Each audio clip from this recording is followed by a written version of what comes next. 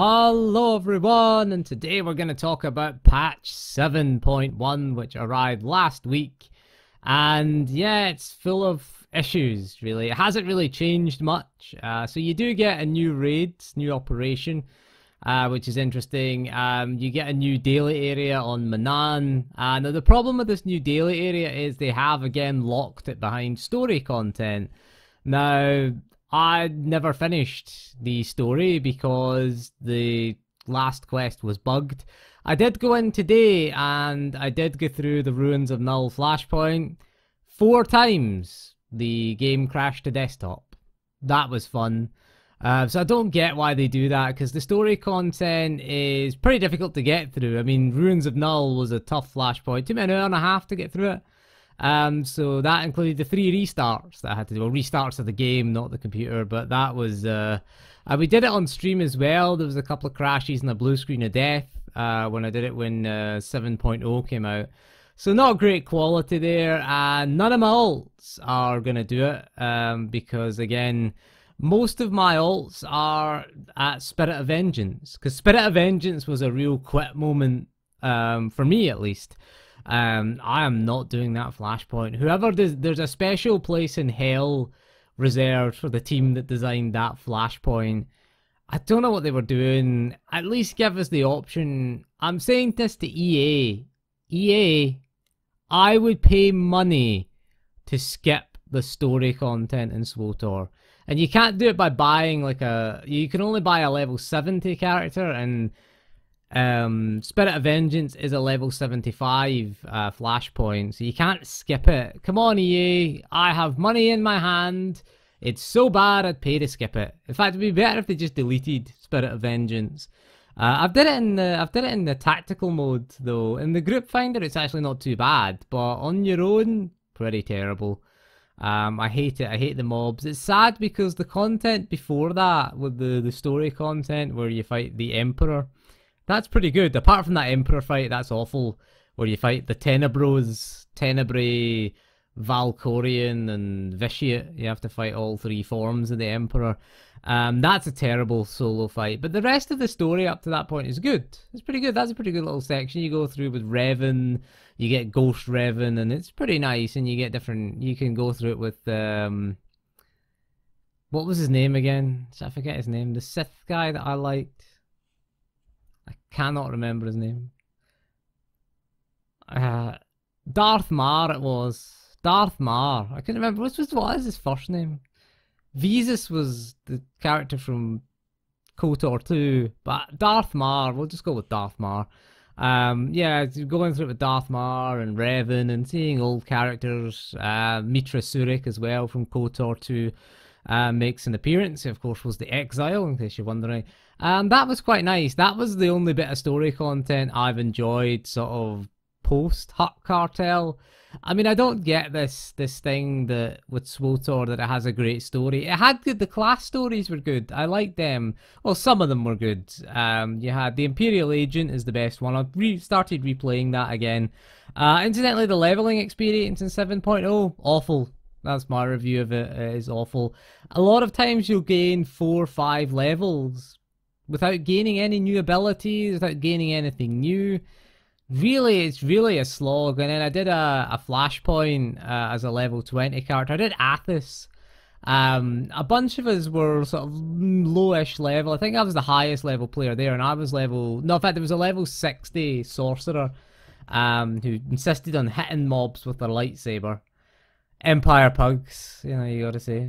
Why are you hitting mobs with the lightsaber? You've only got one melee attack now, and the rest of them are all ranged. There's a clue. I don't know why they have that, though. I don't understand that.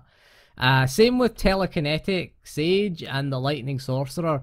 Why do they still have force lightning there? They've pruned a lot of abilities, yet force lightning is still there not even usable in that spec. So I don't get why they have that there. It's it's stupid, really.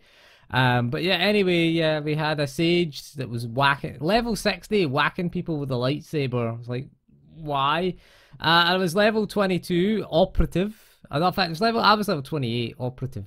Athiss is level 22 flashpoint. Is what I was trying to make. Level 28 operative. Uh, tanking um, basically running out of energy using my basic attack. I'm still tanking, really. Uh, took about an hour to do that flashpoint. It was terrible. See, Athiss used to be a level 20, well, 22 level flashpoint. Around that, it was in the early 20s anyway. Now it's scaled up to level 80. It just doesn't make any sense. The game's scaling is terrible. Uh, it's a terrible experience. Um, don't do tactical flashpoints under level 80, or at least at low level. Wait till you get more abilities at least. Uh, or you know, be a level 60 sorcerer. I wish I'd recorded it because it was quite, it was kind of funny, uh, in a sense. But of course, I didn't, I couldn't stealth CC things, so we couldn't skip trash, which is annoying, because you don't get the sleep dart until level 35, which is annoying. It was only level 28 at the time.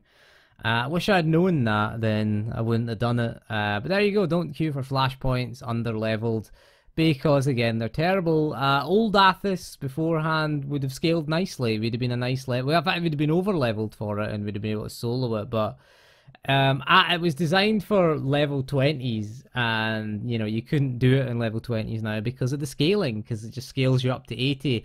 But of course, you don't have any abilities, you don't have any tacticals, and you don't have any legendaries, so you're kind of hopeless, really. Uh, there was no level 80s in the group either, so again, we were all kind of hopeless for DPS. So not a great experience leveling in 7.0, I've got to say. Uh, or even 7.1. Uh, another issue I have is they have upgraded all of the gear now that you can upgrade. Because I was primarily doing flashpoints, 326 was the maximum gear I could get, and I got my character, main character, into 326 gear, and I'd augmented the gear. Uh, this was a mistake going into 7.1 because now you can upgrade the gear. Uh, the flashpoint gear goes up to 330 now. You might think that this is good, but because I've augmented all my gear, basically what happens when you upgrade your gear, uh, bear in mind you don't get upgrades in a flashpoint uh, anymore. So if you've got 326 gear, 326 gear will drop. 326 gear drops in veteran flashpoints now, as well as uh, master mode now. So at least there's that. But the problem is, you only get the upgrade at the end when you do your weekly quest. Uh, you get the chest, which gives you an upgrade. The problem is, upgrading to 328 isn't an upgrade if you've augmented because you're gonna if you do go through the flashpoint stabilizers and go to upgrade it will delete the augmentation kit. It'll delete the augment if you keep it in there but you can remove the augment. You can easily extract that. But again if i upgrade that to 328 i'm gonna lose the tertiary stats that, i'd put in. It's now a downgrade now uh, until it augmented. So what it means is now as I have to go and grind now for augmentation kits because I can craft them myself. So I have to go grind for materials again to get the augmentation kits. The augments themselves, we don't need to grind for them again. Just remove the augment before you upgrade because if you do that, uh, if you if you upgrade it with the augment and it will delete the augment. So don't. At least you can extract the augment, but you can't extract the augmentation kit uh, which is a shame. So now I have to go grind for those Mark 11 augmentation kit materials again, uh, which is really annoying, really, and it's really it's really poor design. I feel, and it really doesn't incentivize you to upgrade your gear. I mean, in theory, I don't need to upgrade my gear because we can do all the flashpoints, and I'm probably not going to do the operation anytime soon. So. Uh, all the guilds that you're in are dead. Uh, most of the people have left the game, so there's nothing uh, really to do now. Uh, no new flashpoints. Again, I'll probably try out the Manaan daily area, but I'll only be able to do it on one character. Um, which is a shame because, um, you know, a new daily area shouldn't be linked to the story. It's only dailies that you're doing. Why do we need? Why do they need to be linked to the story? And why do we need to complete the god awful parts of the story in um, in, on every character. That's stupid. You should do it on one character and then unlock it for that entire faction of characters.